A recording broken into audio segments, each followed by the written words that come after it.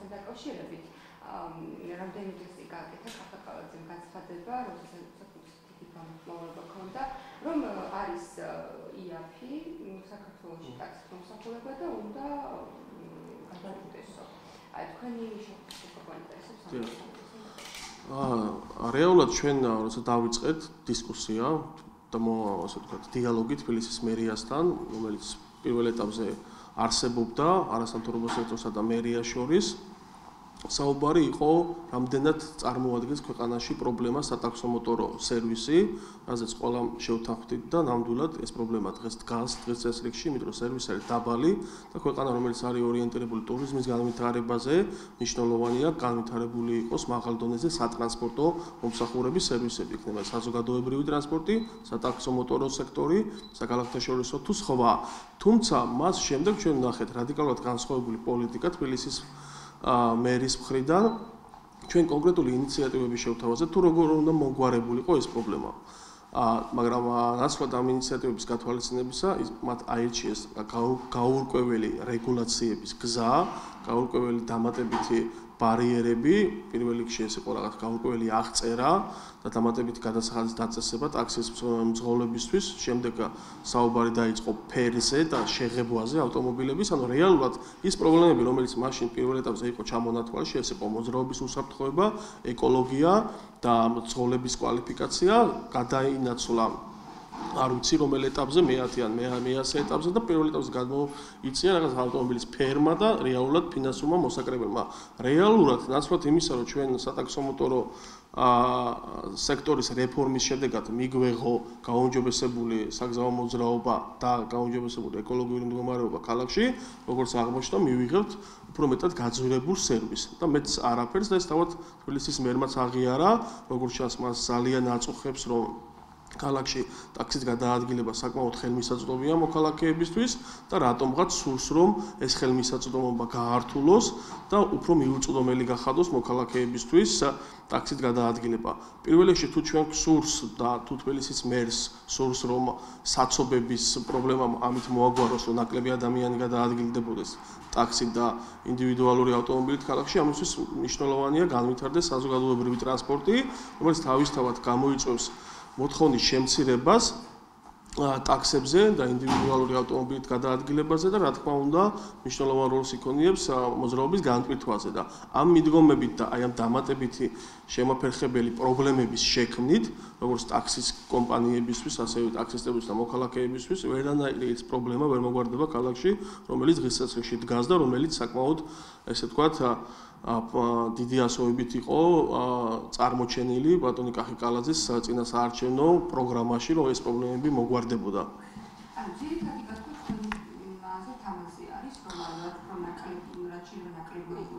აა საბოლოო ჯამში ჩვენ ხო გვაქვს რომ გვაქვს სურათი რომ თბილისის მერია სურს რომ რატომღაც შეამციროს, ანუ შეზღუდოს რაოდენობა ტაქსის რომელიც ქალაქში გადაადგილდება, ანუ ეს არის ერთი ერთ-ერთი ნაბიჯი გადადგმული მონოპოლიისკენ რეალურად, იმიტომ რომ როგორც ჩანს გარკვეული განზრახვებიც აქვს თბილისის მერიაში და ეს ფერის შერჩევასთან დაკავშირებითაც როცა დაისვა შეკითხვები და ამ შეკითხვებზე პასუხები არ იყო კიდევ ერთხელ აა გაჩნდა საფუძვლიანი ეჭვი, იმიტომ რომ ჩვენ ვიცით გარკვეული ესე ვთქვათ ცვლილებების მიმართ დამოკიდებულება თბილისის მერის მაგალითად მოვიყვანოთ ვარაზის ხევში ყოფენილის შეცვლა ასფალტით, მაგალითად ანძის რეაბილიტაცია, სადაც საკმაოდ წარმატებით თბილისის მერია ახდენდა კომუნიკაციას საზოგადოებასთან, სამოქალაქო სექტორთან და ითვალისწინებდა მათ აზრს. ანალოგიური შეიძლება მოხდარიყო ტაქსის ფერთან დაკავშირებით, რომელიც შეიძლება ერთად უფრო მნიშვნელოვანი იყოს ერთგვარი სავიზიტო ბარათი გახდეს. ქალაქის ატომღაც მოულოდნელად მიიღეს გადაწყვეტილება, რომ ეს უნდა ყოფილიყო თეთრი ფერის. რა თქმა უნდა, კითხვები ჩდება, ეს კითხვები სანამ არ იქნება გაბათილებული შესაბამისი ადეკვატური პასუხებით, ჩვენ გვექნება საფუძვლიანი ეჭვი, რომ გარდა იმისა, რომ რეალურად მათ სურთ, რომ პირდაპირ მიიღონ შემოსავლები ბიუჯეტში სატაქსომოტორო სექტორისგან, ასევე აქვთ განზრახვები, რომ გარკვეული ხელშემწყობი პოლიტიკა გაატარონ გარკვეული კომპანიების მიმართ მომავალში, რომელიც აუცილებლად გამოჩნდება, იმიტომ რომ დღეს იმდენად არის განვითარებული სამოქალაქო საზოგადოება მედია ქვეყანაში რომ მსგავსი ჩანაფიქრები და მსგავსი ასე ვთქვათ განზრახვები არცეთ ხელისუფლებას ვფიქრობ რომ ესე მარტივად აღარ გაუვა. რაც შეხება მეორე თემას თუ თუ ტაქსებს ტაქსებთან დაკავშირებით ხალხს დავაზუსტებ. მაშინ როდესაც საუბარი არის ფასის მომატებასთან დაკავშირებით და არ არის საკმარის საზოგადოებრივი ტრანსპორტი რომ მაგალითად იმითი იმითი სარგებლოს მოსახლეობა რა პრობლემა შეიძლება ანუ შეიძლება ამან გამოიწვიოს ტრანსპორტი რა თქმა უნდა სატრანსპორტო კოლაფსი ქალაქში კი არის მაგალითად გუშინ გუშინ პიკის საათში შეუძლებელი იყო ტაქსით მომსახურების სერვისით სარგებლობაც კი. იმიტომ რომ არის შემთხვევები რომ ძირითადი ტაქსი კომპანიები რომლითაც მოქალაქეების უნარლესობას სარგებლობს პიკის საათში ეს არის 6-დან 7 საათამდე.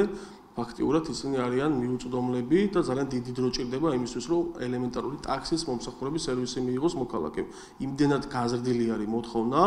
ასევე სატაქსო მოტორო სერვისზე და იმდენად გადატვირთულია ამ დროს რა თქმა უნდა საზოგადოებრივი ტრანსპორტი. ეს არის ავტობუსი, ეს არის მეტრო, მიკროავტობუსები, სწორედ ამან გამოიწვია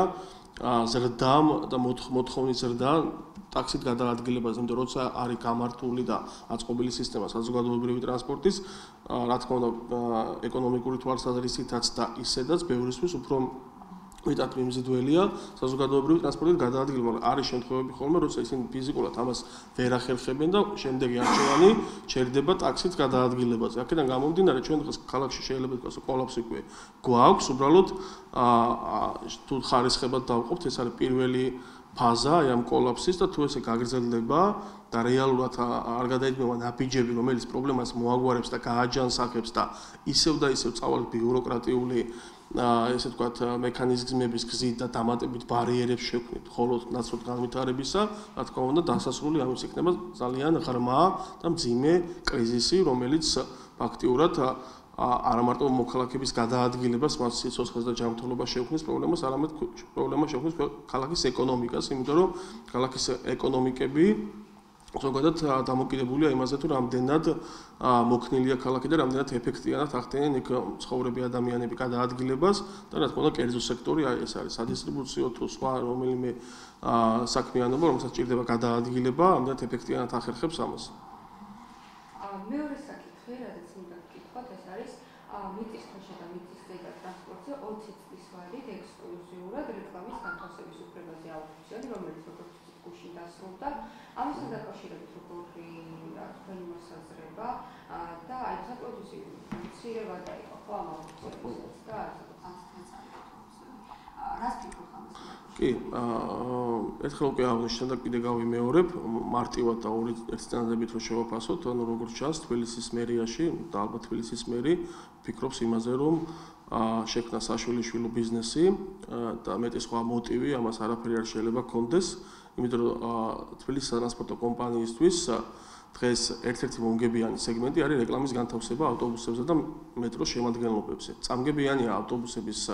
ზოგადად სერვისი, ანუ გზავრების მომსახურება, მომგებიანია მეტრო და ხდება დაბალანსება და შემდეგ დამატებითი სეგმენტები არის რეკლამის განთავსება, რაღაც არსებული ქონების იჯარით გადაცემა და ასე შემდეგ. ანუ ჩვენ ხედავთ სურათს სერვისი რომელიც არის მომგებიანი თბილისის სატრანსპორტო კომპანიისთვის, რატომღაც იღებს გადაწყვეტილებას, რომ 20 წლით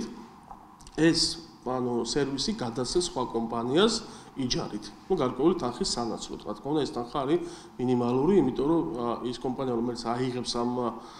იჯარით ვალდებულებას, რა თქმა უნდა, ორიენტირებული იმაზე, რომ დამატებით მოგება მიიღოს. ანუ თეორიულად შესაძლებელია უფრო მეტი თანხის მიღება, მაგრამ ამაზე უარს ამბობს თავად თბილისის ტრანსპორტო კომპანია. რა თქმა უნდა, ეს არის ძალიან პრიმიტიული ძალიან უკვე დრომოჭმული სქემა, რომელიც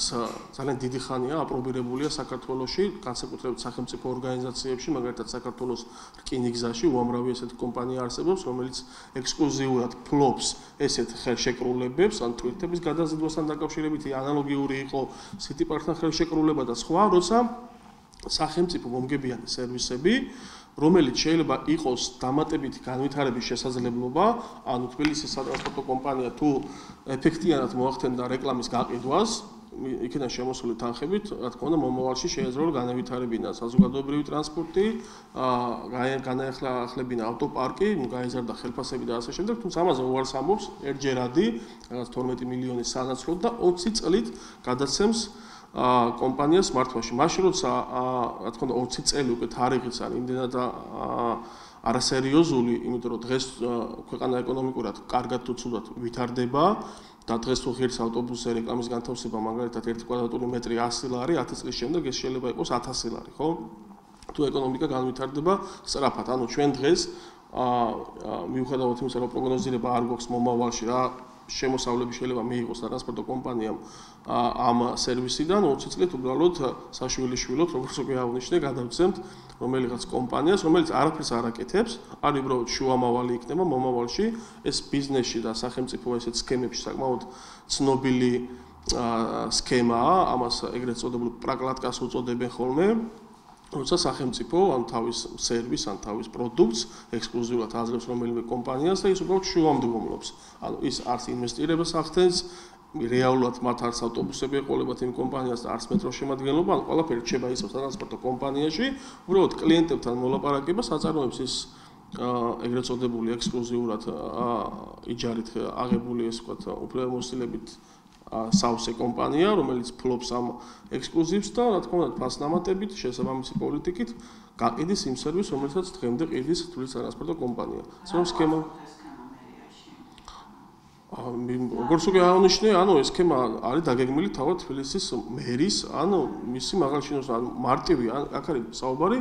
პირად ინტერესებზე და მოგებაზე. ანუ თუ თუ მაგალითად შესაძლებელია რომ 20 წლის განმავლობაში თეორიულად რო თქვა თბილისის ტრანსპორტო კომპანია მიიღოს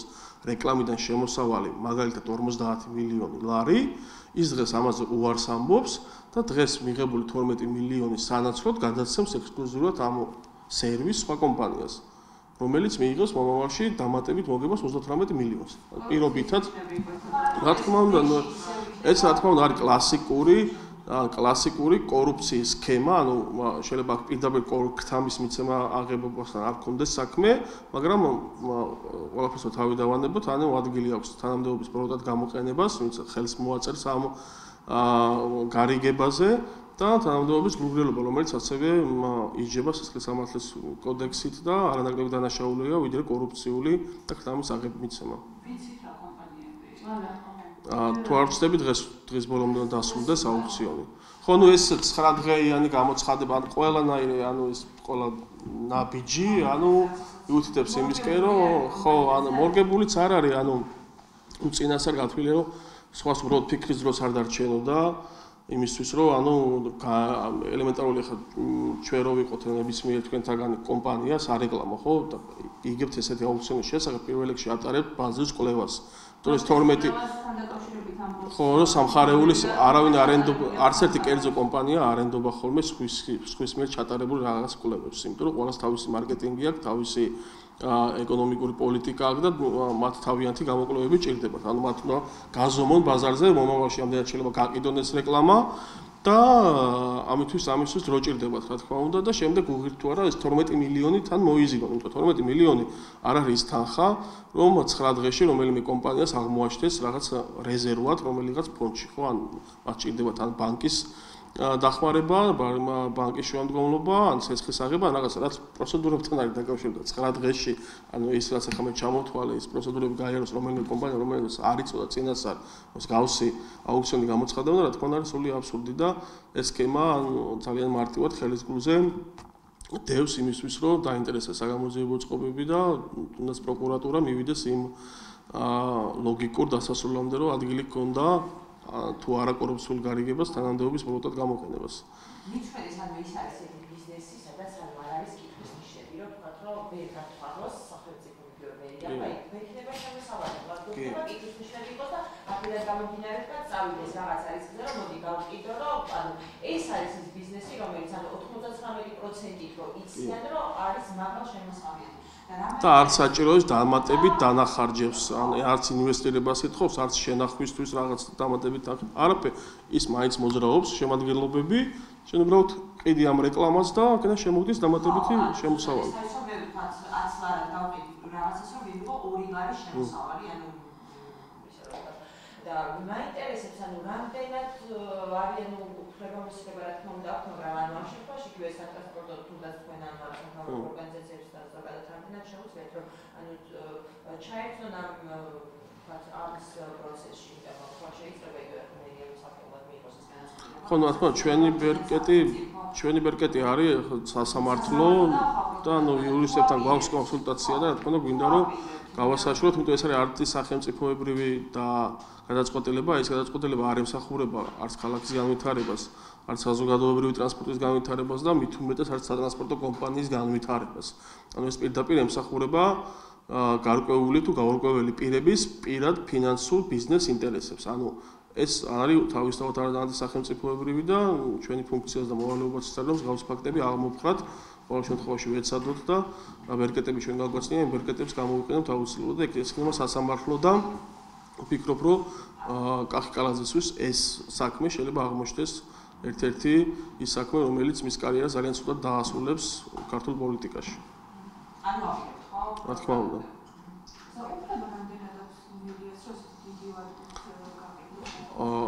ანუ აქ საუბარი არის მერიაზე, აქ არის საუბარი თბილისის სატრანსპორტო კომპანიაზე, რომელიც არის ჩვეულებრივი შეპესე, ან ჩვეულებრივი კომერციული კომპანია, მოგებაზე ორიენტირებული, უბრალოდ მას ფლობს სახელმწიფო. ანუ ფლობელი არის არა რომელიმე X პიროვნებები, არა რომელიმე კომპანია, სახელმწიფო თბილისის მერია ფლობს ამ შეპესეს, რომელიც არის მუნიციპალური შეპესე. და რა თქმა უნდა ეს ამ შეპესის ხელმძღვანელობა და მენეჯმენტი თავიდან ბოლომდე უნდა იყოს ორიენტირებული კომერციაზე, მოგებაზე, რომ მათ ერთის მხრივ გაყიდონ სერვისი მგზავრთა მომსახურების და თუ იქ აქვს პრობლემა,